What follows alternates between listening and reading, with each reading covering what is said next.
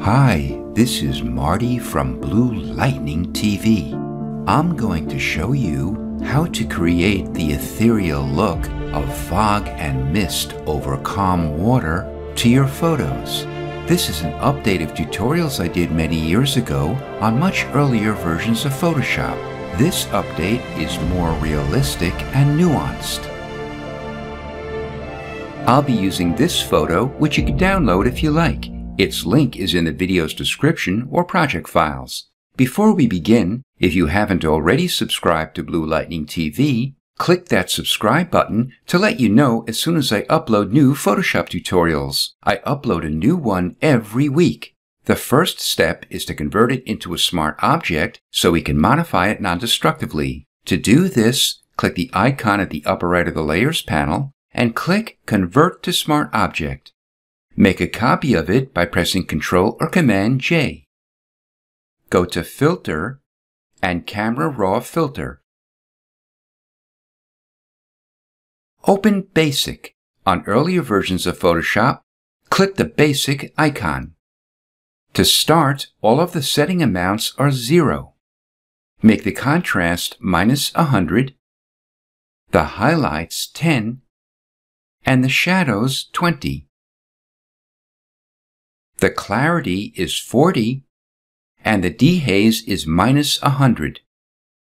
Close the basic settings and open Effects. Make the grain 70. Then click OK. Go back to Filter and Camera Raw Filter. Open Basic again, and this time make the clarity minus 20 and the dehaze minus 60. Next, we'll selectively feather out the bottom and top portions of the mist by clicking the Layer Mask icon to make a layer mask next to the active layer.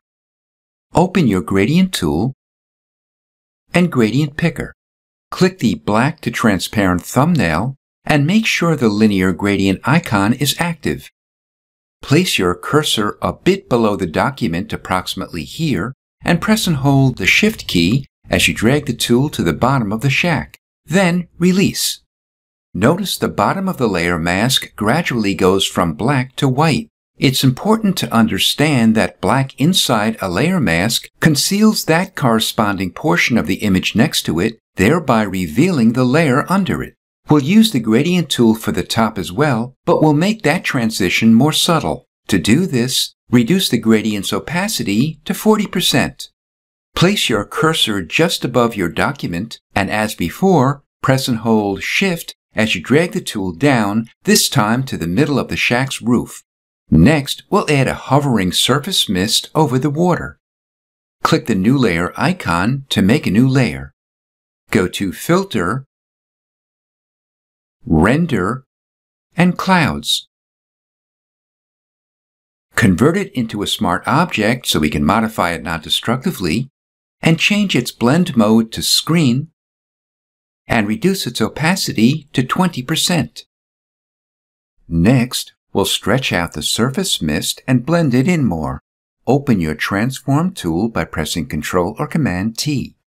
Go to the top and make sure the chain link is not active. This will allow us to resize the width or the height independently of the other. In the width field, type in 500% and press Enter or Return. Click the Layer Mask icon to make a layer mask next to the cloud's layer. With your Gradient tool active, increase the gradient's opacity to 100%.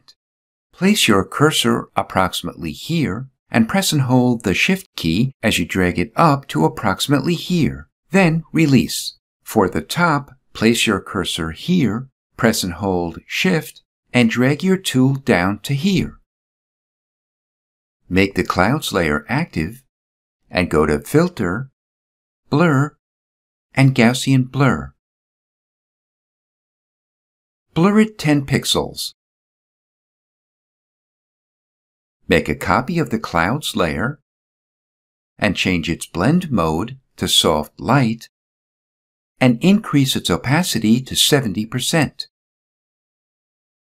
Press V to open your Move tool and slide the surface mist down to approximately here.